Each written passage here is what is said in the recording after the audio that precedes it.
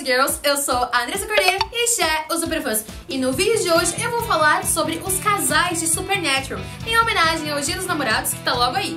Então se você é novo ou nova por aqui, já clique em gostei se inscreva no canal para não perder nenhum vídeo de Supernatural. E vamos pra vinheta!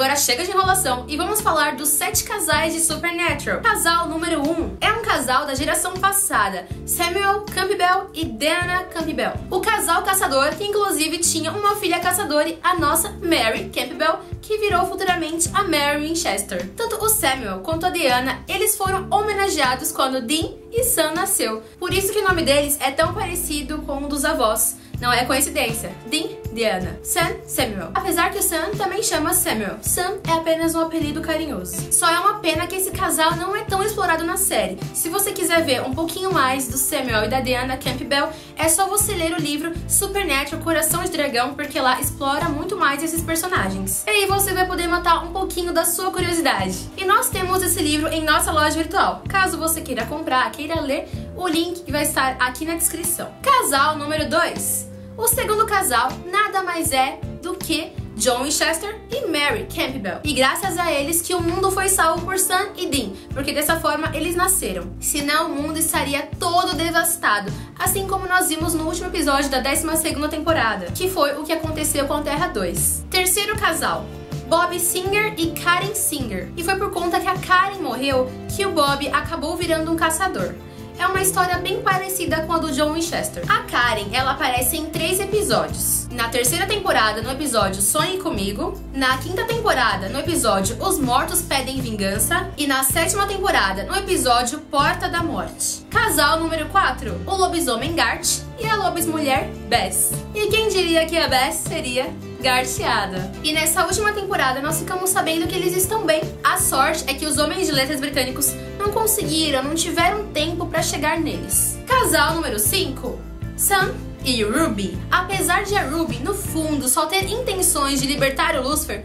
o Sam acabou um pouquinho apaixonado por ela. O Sam gostou tanto dela a ponto de dar mais ouvidos para Ruby do que para o seu próprio irmão. E o fato dele estar viciado em sangue de demônio e ela ter muito disso deixava ele ainda mais louco por ela. E o amor do Sam foi tão grande pela Ruby que ultrapassou a barreira da série. E na vida real, George Padalecki e Genevieve Cortez se casaram e tiveram filhos. Parando um pouco para falar da Amélia, aquela veterinária sem sal e açúcar, estilo a Bela do Crepúsculo, sabe? Sinceramente, eu não gostei nadinha, nem um pouco, do relacionamento dela com o Sam. Na boa, eu super curti quando o Dean atrapalhou. E mais uma vez, o Sam trocando o irmão por uma mulher que não vale a pena. Casal número 6.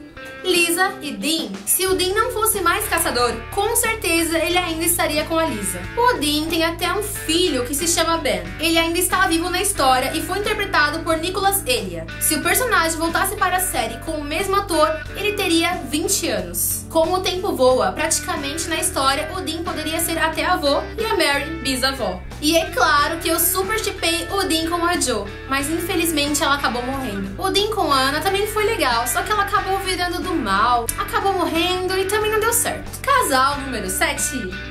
E por fim, vamos falar de polêmica aqui. Uma polêmica das grandes. Não é uma invenção minha, é apenas uma chipagem que se você procurar em grupos no Facebook, fóruns, sites, você vai encontrar várias fanfics e imagens sobre este casal. E não é só no Brasil não, você vai encontrar isso em diversos idiomas, português, inglês, espanhol e até mesmo polonês etc. Essa ideia é odiada por muitos e amada por alguns. Nunca acontecerá na série, é o que eu acho, né?